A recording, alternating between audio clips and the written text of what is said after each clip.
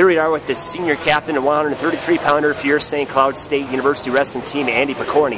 Andy, 47 straight duals the Huskies have won dating back to January 27th of 2011. You being one of the seniors on this team, how, how can you tell me how this has helped you as a uh, wrestler and just as, as a team with this streak going? Uh, well, it's been great uh, being on this team with this uh, streak. I know we don't talk about it very much uh, in the room just because uh, the more you talk about something like that, you know, baseball rules, you don't want to talk about a streak while it's still going.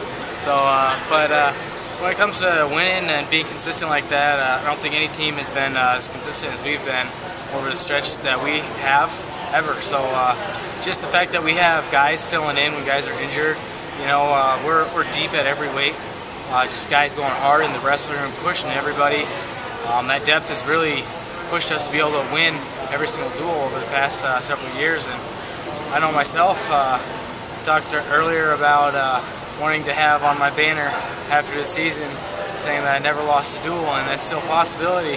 So uh, if we go through the season without losing, then I'll get hopefully put that up there. So having that streak has been uh, something to fall back on, knowing that we've uh, never lost as a team you know, individuals might, you know, be injured or, or have a bad day or anything like that, but as a team, we've been solid every single time going out.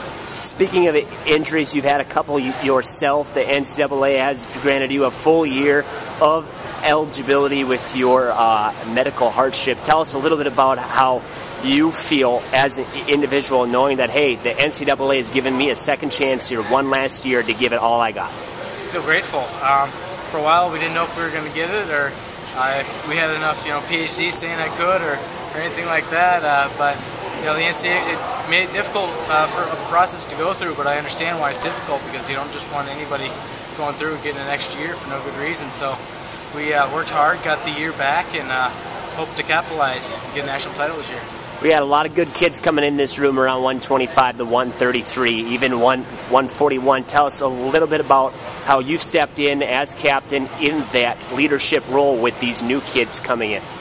Uh, well, uh, with our main coaches that are here being more bigger guys, coaches kind of asked me to take an active role as a captain um, and as a little guy to help the uh, guys at 25 and 33 and 41 and you know 49, a couple of guys too, just help out, staying late in practices, showing technique, you know, mentally getting guys through the week.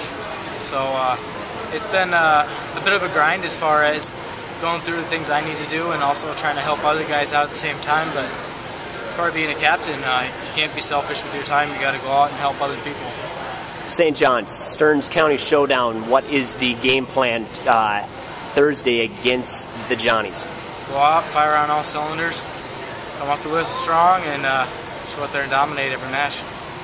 Your 133 pounder and senior captain for St. Cloud State University wrestling team, Andy Pokorny. Thanks, Andy, and best of luck.